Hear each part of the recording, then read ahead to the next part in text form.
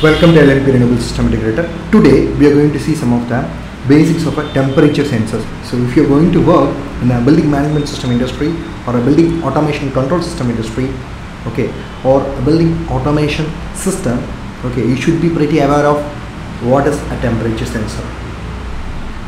Okay, what are the things that we are going to discuss today? Today we will try to know what is a temperature sensor, where can I see this, where can I use this temperature sensor, how the temperature sensor looks like, okay, how a temperature sensor works, how a temperature sensor is wired and installed, and what are the things as a BMS engineer, BACS engineer, I should know in a temperature sensor. So first we should know about what is a temperature sensor. It is a device which provides the accurate, reliable sensing of a room temperature or a particular area temperature. If it is installed inside a duct, it will show the temperature in that particular duct. Okay, mostly it is used in all the ventilation industry, heat ventilation, air conditioning systems. It is used. So as I told earlier, what we are going to perform using this temperature sensor. So with the help of this temperature sensor, we are going to control the airflow inside the particular room or inside the duct. What we are going to do with the help of the inputs from the temperature sensor, we are going to control the valve, the actuators. Okay. It can be a damper actuator or it can be chill water actuator also. So both actuators we need to control only with the help of this temperature sensor. In order to achieve the set point temperature, we need to uh, maintain the uh, coolness, chillness inside that room. So for that we need a we need to control the chill water actuator with the help of this temperature input. Okay, and where can I see this? So you can see these um, temperature sensors mostly in malls, multi-storage buildings, um, uh, metro stations. Okay, and uh, you can uh, see in the places where the building management system is established. Even in the airports, you can see this thermostats mostly it is used in building automation system where we are using chillers okay air handling units variable air volume units fan coil units. In those places you can see these and we, we are using these there.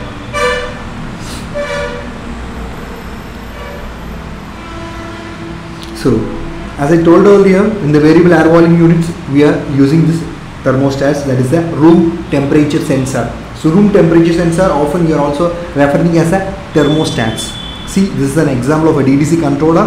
So we are controlling the opening and closing position of this actuator with the help of this thermostat. So how it looks like? See here these are the examples of the wall mounted thermostats okay? And this is an example of a temperature sensor which usually installed in ducts okay? Uh, if you go for a heat ventilation air conditioning industry or air handling units on the supply side and the return side we have a temperature we have a ducts larger ducts so in order to measure the temperature inside the ducts we need a probe like provisions and we and we need to monitor it externally also. So that's why in certain places with the display we used to give or in other places without display we used to give but the electrical signal will convert as digital signal and we used to monitor in our PLCs even uh, by mapping through the uh, SCADA in the workstations also we can see the temperatures. So here uh, today we are going to see there are so many varieties so many uh, companies are there. Siemens uh, ABB okay. Honeywell Schneider Electric like that so many players are there in the sensor industry. But today we are going to discuss something little clear about the Siemens. So this is an example okay how it works. See here this is an air handling unit which is working. This is the supply side return side. See here we have a temperature okay this is the set point temperature and this is the actual temperature. To achieve the set point see here uh, the entire equipment is running continuously okay? See here the mixer at sensor temperature. So using the temperature inputs most of the things are getting monitored here. So how a temperature sensor is fired.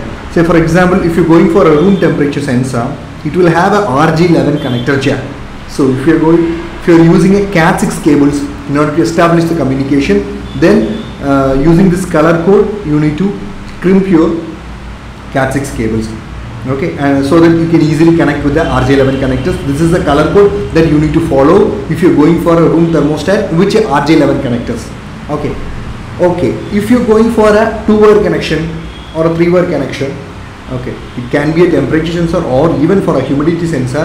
Okay. First of all what you need to see what are the terminals? How many terminals are there? Mostly we'll have the six terminals in certain places. Most importantly four terminals are mandatory. Okay. If you are plan to monitor okay through voltage that is 0 to 10 volt dc okay if you plan to get the uh, 0 to 10 volt dc as an output from your temperature sensor then for sure you should have these terminals like this so you should have a G G0 where you will connect your 24 volt AC supply okay or it can be a DC supply as well okay. Then you you will have a provision of U1 and U2 okay. So from there in one places from one place say for example from if you want to uh, monitor the if you're going to sense the temperature using that uh, sensor then you have to connect your one of your terminal with the U2 and the other one with the ground okay and if you're going if you're planning to monitor your temperature in terms of current that is 4 to 20 milliamps then your connection should be like this. G1 I1 G2 I2 like this you have you should have a connection. Okay? And even in certain places okay uh, you plan to monitor your temperature in terms of um, um, resistance okay? Uh, then you can have provisions like this as well so there are so many types are there okay in Siemens. That is QFM 3100 okay which has only three terminals G, G0 and U1 and uh, the other mo uh, model is that uh, QFM 3101 see here in the 3100 model you're going to get the temperature output from the sensor as a voltage. Whereas in case of uh, QFM 3101 you're going to get as a current okay and when you go for a, a QFM 3160D there you can have either uh, you can get temperature as well as a humidity if you need okay? Both things you can get from the that sensor. So that's why it is having G, G0, U1 and U2 okay? Mm, you can get the DC uh, temperature as a DC output 0 to 10 volt okay? Next if you're going for a QFM 3171D there we have G1, G2, I1, I2. If you plan to get your uh, temperature signal as a electrical current output that is 4 to 20 milliamps output then you can choose this QFM 3171D where you will get the output as a 4 to 20 milliamps okay? And, and also uh, in this sensor you can monitor the temperature as well as the humidity. Because uh, mostly uh, both the options they are providing in certain places. Ideally if you want only the, the temperature you can go for you can choose only uh, the sensor with only temperature option. Or if you plan to monitor both then you can go for these sort of sensors two in one option. And as I told earlier uh, for the if you're going for a temperature transmitters it can be two wire or it can be three wire or it can be four wire so this is an example of a uh, connection how you can make. So for sure for the device to operate and as well as for the module to operate you need 24 volt DC supply. Okay, the positive and the negatives you need. So take the positives for the transmitter to operate. Okay, and for the negative lines based on the number of wire okay it has you can connect it. Okay. This is a simple example of how a 2 wire, 3 wire and a 4 wire transmitters are wired with the uh, analog input modules and most importantly uh, as I told earlier you have a terminal to monitor temperature separately as well as humidity separately. But in certain places okay even the temperature ranges you can fix with the help of this jumper. See here you have a jumpers it's like clip like provision. You have a pins. It will get it will sort two things. These jump what is the purpose of these jumpers? These jumpers sorts the two terminals. So you can remove the jumper and you can connect with the other. Uh, if you do that okay if you do that if you change the jumper position for sure some change will happen inside the uh, temperature sensors output also. See here say for example uh, here we have a jumper okay? And on, on also we have we have a jumper here. See if you have a jumper here you can monitor the display of a temperature in degree celsius.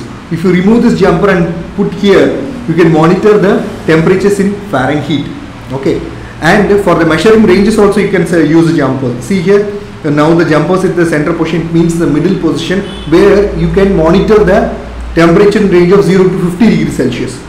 Sometimes if you want to monitor your temperature from 35 to uh, the minus 35 degree to plus 35 degree then you can remove this jumper from here and you can put here in the left position. Or in certain places if you want to monitor the temperature from minus 40 degree to 70 degrees Celsius then you can remove this and you can connect it here.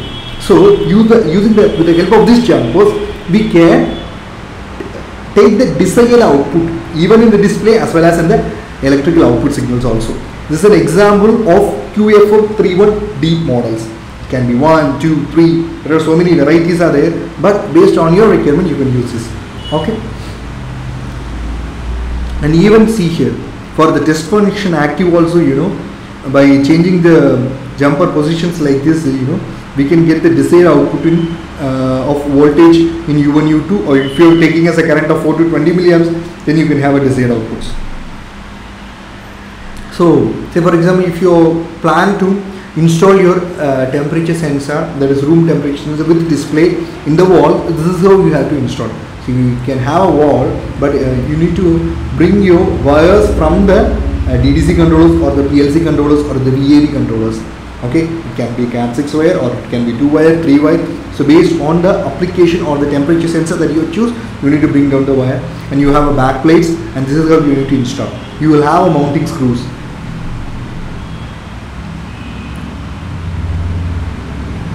And if you plan to install uh, temperature duct temperature sensors then this is how you need to install this is an example how you can install um, duct sensor inside the duct. So as I told earlier see this is a duct mount relative humidity sensor even the temperature sensors also looks like looks the same okay?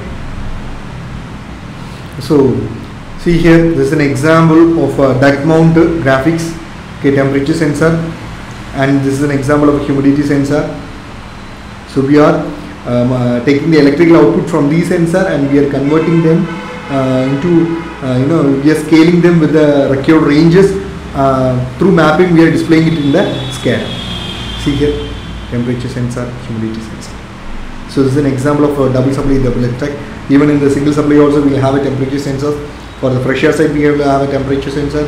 And the supply side we have a temperature sensor and on the return air side also we will have a temperature sensors.